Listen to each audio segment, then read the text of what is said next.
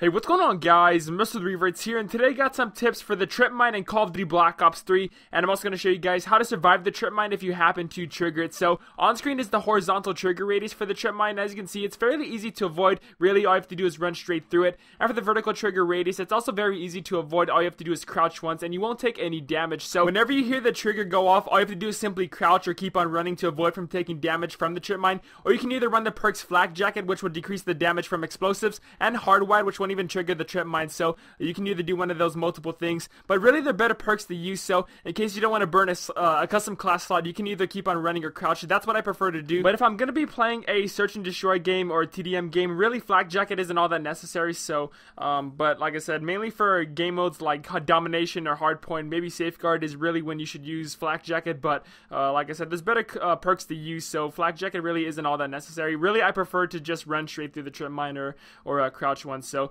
uh, if you're looking to get more kills with the trip mine, try placing it on top of a ceiling on inside of a building because you know not a lot of players are gonna notice a trip mine there, and also it's a lot harder to survive it because you can't really do uh, the crouch method. All you have to do is run straight through it, which could uh, lead the enemy player into a spot where your team might be set up at. Also, I recommend planting the trip mine inside of a body. Now, this may seem a little unorthodox, but uh, if there's an area on the map where uh, you know a lot of bodies are gonna be piling up at, so like maybe a hard point or B domination would be an ideal location. But the reason why is because it's a lot harder to see the trip mine that are inside of bodies. So on screen now is the gameplay of it. Like as you can see, you can't really see the trip mine itself. All you can see is the light. But as a Call of Duty player, I really wouldn't, uh, you know, see that light coming out of a body because I'm gonna be focused on playing the objective and uh, anyone that might be in front of me. So I'm not gonna be all too focused on a light coming out of a body. So uh, this is a very tactical placement of the trip mine on screen now, and you can see I'm getting a, a, couple of kills like this. So there can be some pretty creative placements for the trip mine. Uh, also, the trip mine can be very useful for safeguard. I don't really see a lot of players use the trip mine safeguard. I, I don't know why because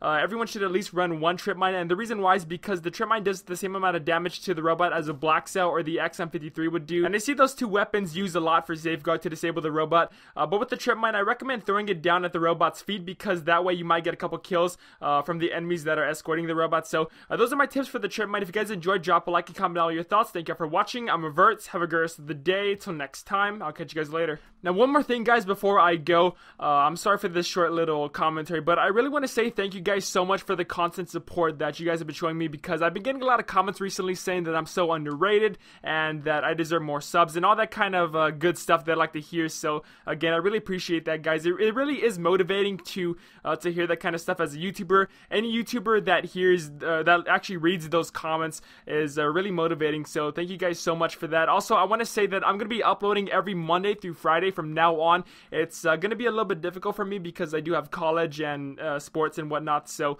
uh, but I'm gonna try it for you guys because I noticed that I had a spike in subs and views when I uploaded from uh, Tuesday through Friday. So I'm gonna try to upload Monday through Friday uh, starting this week. So uh, be on the lookout for new videos, guys. This is my final goodbye. Thank you guys so much for watching. I'm Averts, and I'll catch you all later.